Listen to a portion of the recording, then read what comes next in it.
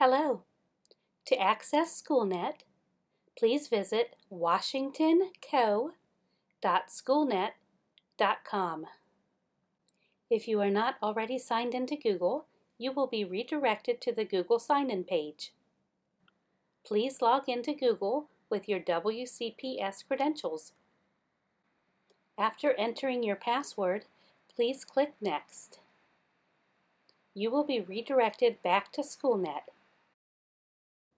Alternatively, if you are already in Google Drive, please click on the nine dots in the upper right-hand corner, Google Apps, scroll down, and select Pearson SchoolNet. Thank you.